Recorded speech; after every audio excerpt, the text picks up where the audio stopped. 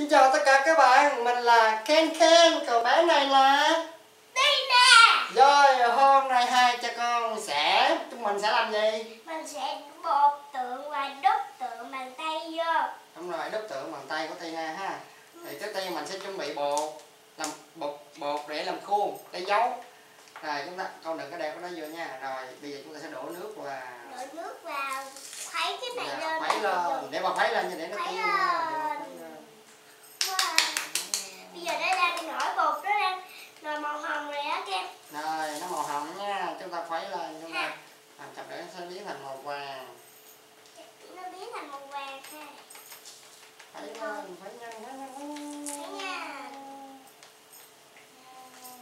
Wow, màu hồng này nhiều lắm. Để để để quấy ra yêu con đừng có đụng lỗ tay vô Ừm, Mùi rất là hay nha Rồi cho hết nước lại vào, vào luôn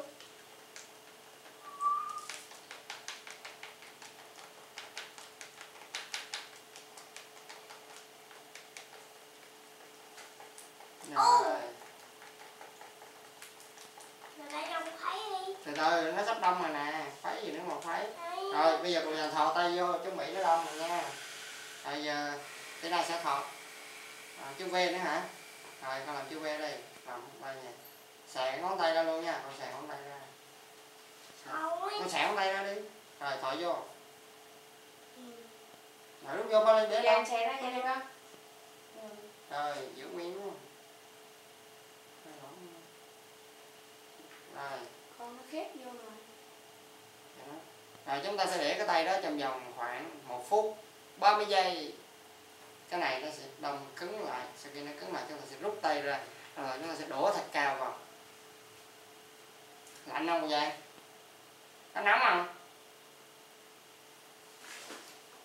Bật quạt được không? ừ, nó Ừ, Ừ, ừ. rồi nó sắp cứng rồi nè rồi các bạn sẽ đợi chút xíu. Với cái này các bạn có thể làm cho bé ở nhà của mình bé một tháng hai tháng ba tháng bốn tháng. Chúng ta đều có thể làm được.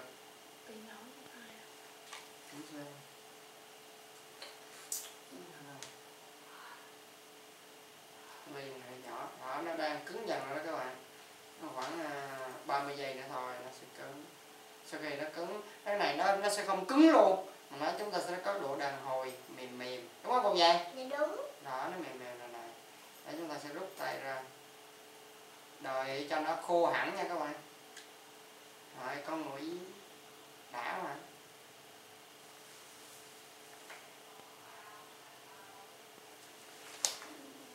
Rồi mình đã đúc trước một một cái. Ừ. Cái này của ai? Trước. cái này của ai của con luôn đúng không? Bây giờ lại mình đúc bây thêm giờ một mình đúc thêm một cái nữa nhẹ nhẹ nhẹ nhẹ thôi. Nó sẽ khô rồi.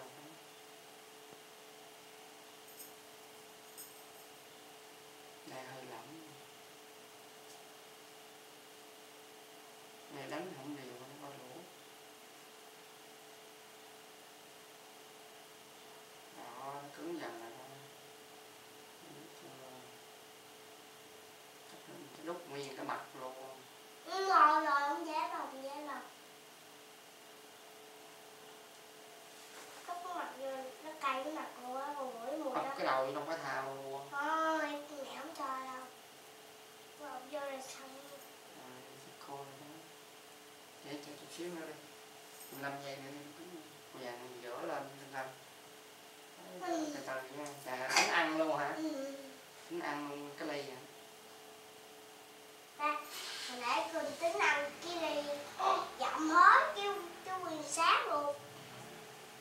Đó giờ nó nó khô rồi đó các bạn. Nó cứng rồi rồi sau cứng rồi chúng ta có thể tiến hành rút tay ra nha. Rồi rút tay ra.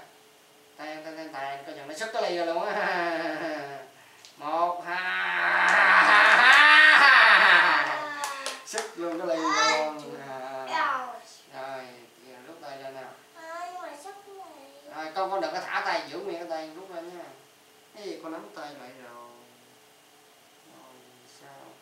Rồi chúng ta đã có được hình cái ly rồi tiếp theo chúng ta sẽ đổ thạch cao lên nha.